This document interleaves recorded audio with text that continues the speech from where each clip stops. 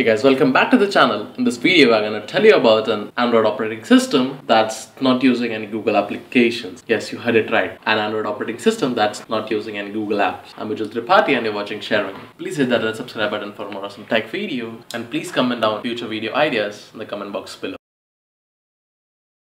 Google's Android and Apple's iOS controls nearly 99% of operating systems in this world. Now, for those who are looking at an alternative to these tech giants, they have good news. There is a new operating system based on Android. Gaël Duval, an earlier Linux contributor, is going to develop a new Android operating system. He has confirmed that he is working on Eelo, an open source Android operating system, which is in part of Android, but it won't use any Google apps. Building an operating system on the top of Android and but still not using any of the Google applications is not a new phenomenon. Earlier, China's e-commerce giant Alibaba developed their own Android operating system that didn't use any of the Google's applications but they use their own Chinese applications. Eelo is born from the existing Lineage OS, which was born from the CyanogenMod OS, which is now dead.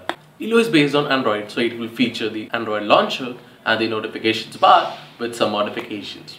Eelo is still running in beta version and the real challenge is so far to stay away from Google Play Store and Google Play Services applications. The Android operating system developer, Duval also adds that this operating system will be based on privacy focused apps like DuckDuckGo and Qwant for the local searches. He also adds that user can choose between DuckDuckGo and Google applications so that both the users can get their application. However, it's the future that will decide the future of Eelo. But now, Duval has also opened a Kickstarter page which has got nearly $120,000 for the project development. So that's it guys. Are you ready for Eelo? Comment down below.